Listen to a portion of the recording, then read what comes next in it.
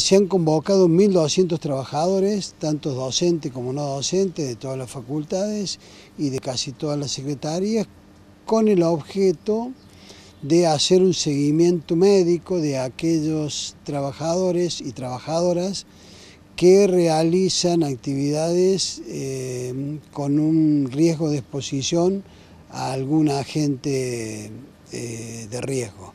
Eh, este seguimiento médico depende de la actividad que desarrolla cada uno de los trabajadores, con lo cual no todos se hacen el mismo examen médico.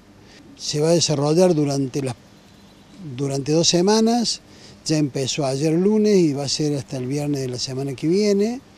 Hay más o menos 120, 130 trabajadores convocados por día y bueno, eh, lo estamos realizando en instalación en el Centro de Salud y acá quiero recalcar una cuestión que es importante, que es un agradecimiento al Centro de Salud porque cada vez que necesitamos hacer esta actividad, que para nosotros es muy significativa, siempre nos acompañan y bueno, nos ayudan prestándonos las instalaciones, así que un agradecimiento por eso.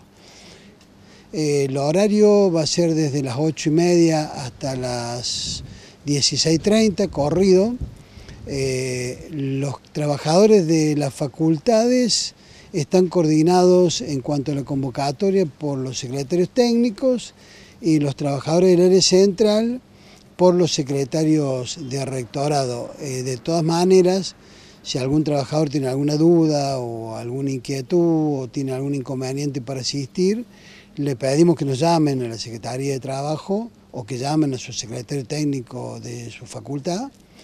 El número de la Secretaría de Trabajo en interno es el 120 o que nos manden un correo.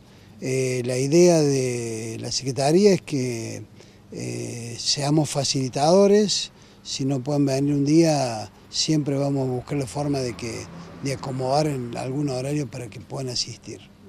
¿Cuáles son algunos de los exámenes que se les realizan a los trabajadores? Bueno, hay exámenes clínicos, en algunos casos hay radiografía, en otros casos hay análisis de sangre, hay análisis de orín, este, eh, hay audiometrías. Bueno, los exámenes son diversos porque tienen que ver con las particularidades de cada una de las actividades, con los agentes de riesgo que cada uno de los trabajadores esté expuesto. Eh, hay un examen que es importante, que es el uso de la voz, ¿está bien? Eh, ahí se hace un, entre los exámenes se hace una laringoscopía indirecta este, con el objetivo de hacer un seguimiento de las cuerdas vocales este, que pueden estar afectadas eventualmente, por supuesto, eh, los que somos docentes por el uso de la voz de manera permanente.